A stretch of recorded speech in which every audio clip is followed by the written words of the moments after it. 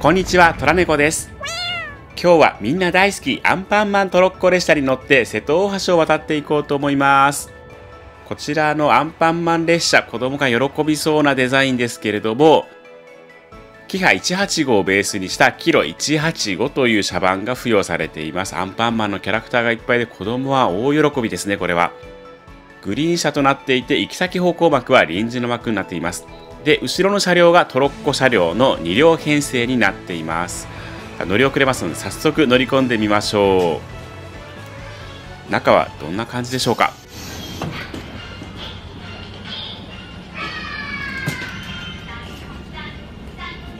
こちらのトロッコ車両に乗れるのは小島と境でのみとなります。それ以外の区間はトロッコと同じ座席番号が振られたこのゴージャスなグリーン車に乗っていくことになります。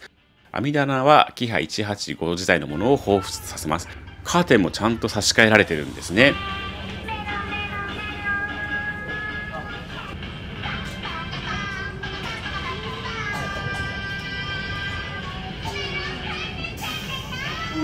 隠れミッキーならぬ隠れアンパンマンもいます。ベビーカー置き場もちゃんとありますし、多目的ルームも小島発ということでちゃんとありますよ。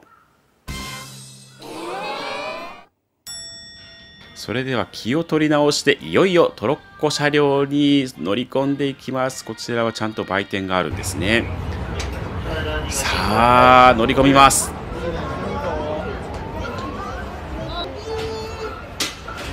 みません、そこです。ごめんなさい。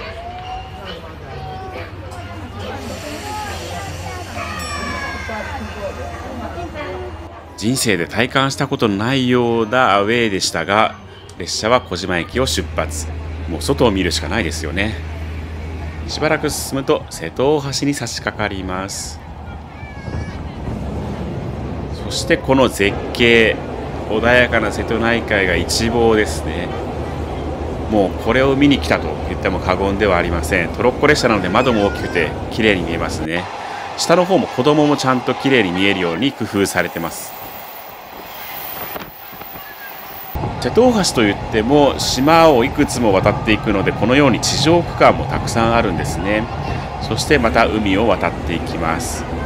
なんて素晴らしい景色なんでしょう。しかし車内は本当に視線が痛くて寒くて本当に辛い旅でした。お子さんの足元にはこうガラス張りの床になっているところもあるんですね。これ橋の区間だと海も見えるようなんですよ。ね、子供はここは大人気大はしゃぎスポットでしたね。トロッコの後方の空いているところに行ってみました、ね、ドキンちゃんとかアンパンマンのつかまり棒が設置されています。可愛いですね。ね壁もどこもかしこもアンパンマン。車番は菊葉という珍しい車番が付与されています。そうこうしているうちに四国境手の地が見えてきました。降りる場所が近づいてくると少し名残惜しいんですけれどもその前にぜひチャンネル登録をよろしくお願いします。最後の柱を渡ります、ね、こういった柱に支えられて瀬戸大橋はできてますからね。さあだんだんだんだん本当に名残惜しくなってきました。トロッコの車両こんな感じで風がふわーって受けられるんですね。本当に気持ちよかったですね。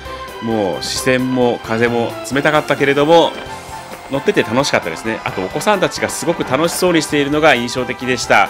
ぜひ子供も大人も皆さんみんな大好きアンパンマントロッコ列車ぜひ乗ってみてください。ご視聴ありがとうございました。チャンネル登録もぜひよろしくお願いいたします。